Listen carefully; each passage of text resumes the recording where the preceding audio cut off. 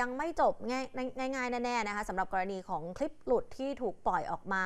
ที่ตอนแรกเนี่ยน้องพิมพ์กรกนกเป็นนางแบบเป็นเน็ตไอดอลเป็นอินฟูนะคะเธอเป็นนางแบบเสื้อผ้าชื่อดัง เธอก็ได้มีการออกมาเปิดเผยว่าเธอเนี่ยเป็นคนในคลิปหลุดจริง ๆ ก็นั่งร้องไห้เนี่ยแล้วก็เปิดหน้าเปิดตา ล่าสุดค่ะมีคนที่เขาอ้างว่า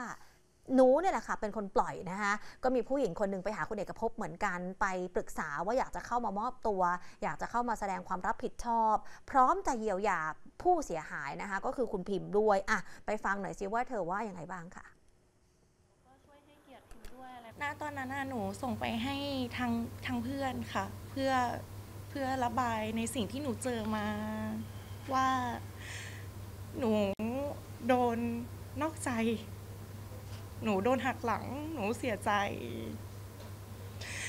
เพราะว่าเขาเขาเขาทำเหมือนว่าเขาจริงจังกับหนูทุกอย่างค่ะ อยากขอโทษน้องที่เสียหาย ด้วยความจริงใจค่ะ แล้วก็สิ่งที่หนูทำไป หนูทำไปเพราะหนูขาดความยั้งคิด แล้วก็เป็นอารมณ์ชั่ววูบของหนูที่ หนูเองก็เสียใจผิดหวัง หนูหนูรู้ค่ะว่า ว่าจริงๆแล้วมันควรจะจบที่ความสัมพันธ์ของเรากับผู้ชาย คือเธอก็มาคิดได้หลังจากที่เรื่องมันเกิดไปแล้วนะคะ ว่าจริง ๆ เรื่องนี้ไม่ควรไปดึงใครเข้ามาเกี่ยว ฝ่ายชาย แฟนเก่าของเธอ ซึ่งก็เป็นแฟนเก่าของพิมพ์ เธอบอกว่าเขานอกใจหนู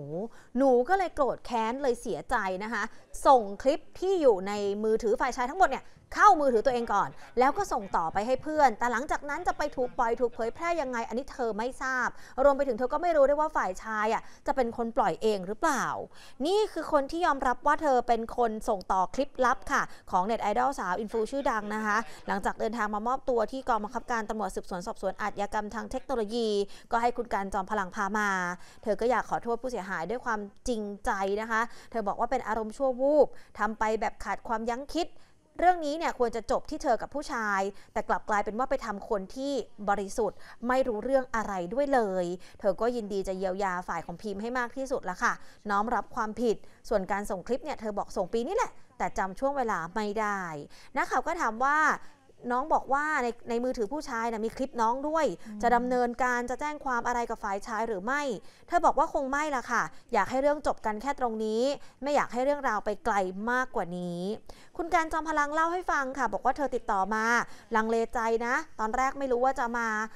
มอบตัวในคดีอะไร เพราะอย่างที่บอกว่าเธอเนี่ยเห็นคลิปส่งมาส่งต่อ แต่เธอบอกว่าเธอไม่ได้เป็นคนโพสต์เข้าไปในในสื่อต่างๆ หรือว่าในเว็บ โป๊เว็บอะไรอะนะคะ เธอก็บอกว่าอะเล่าให้พี่กันฟัง คุณกันก็เห็นแล้วว่าเขารู้สึกผิด อยากจะรับผิดชอบในสิ่งที่ทำก็เลยเกลี้ยกล่อมบอกอ้าวงั้นมาให้ข้อมูลกับตำรวจแล้วกัน สิ่งที่ผิดก็ยอมรับแล้วก็รับผิดชอบไป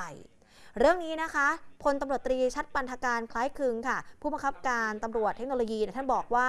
ก็จะให้พนักงานสอบสวนสอบปากคำรวมถึงเอาอุปกรณ์สื่อสารเอาโทรศัพท์ของฝ่ายหญิงเนี่ยมาตรวจสอบด้วยว่ามีการส่งไปให้ใครอย่างไรบ้าง ก่อนหน้านี้มีการไปตรวจคนบ้านของฝ่ายชายแล้วนะคะ ก็ได้มีการยึดอุปกรณ์ที่เกี่ยวข้องกับการกระทำความผิด ทั้งคอมพิวเตอร์โน้ตบุ๊ก iPad มือถือ เอามาตรวจหาหลักฐานเพิ่มเติม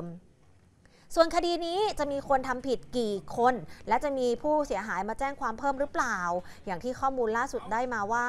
มีคลิปกับผู้หญิงหลายคน เรื่องนี้ตำรวจบอกว่ายังไม่สามารถเปิดเผยได้ค่ะกำลังสอบสวนอยู่ คนที่เสียหายตอนนี้จริง ๆ ก็มีคุณพิมพ์คนเดียวที่เข้ามาแจ้งความแล้วก็เปิดหน้าชนนะคะ ซึ่งพิมพ์ก็ยืนยันว่าจะดำเนินคดีกับทั้งหมด ทุกคนที่เกี่ยวข้องเลยให้ถึงที่สุดสำหรับฝ่ายหญิงเนี่ยที่เป็นคนออกมามอบตัว เธอก็ไม่ได้แปลกใจนะคะ เพราะเธอก็สงสัยคนนี้อยู่แล้วล่ะ สิ่งที่เกิดขึ้นจะเคลียร์กับผู้ชายก็ควรจะไปเคลียร์กันสองคน หรือติดต่อมาถามตัวเธอก็ได้ ไม่ใช่แก้ปัญหาด้วยการเอาคลิปของเธอไปส่งต่อ จนเกิดความเสียหายแบบนี้ โดยมีรายงานบอกว่าแฟนคนล่าสุดที่น้องพิมพ์คบอยู่ตอนนี้ค่ะเขาบอกเขามีคลิปเสียงด้วยนะ เป็นการจะแก้คืนแก้เกมกับฝ่ายหญิงที่ออกมาเปิดเผยตัวเนี่ยค่ะ แต่ว่าก็เดี๋ยวรอดูว่ามันจะไปจบที่ตรงไหนนะคะค่ะ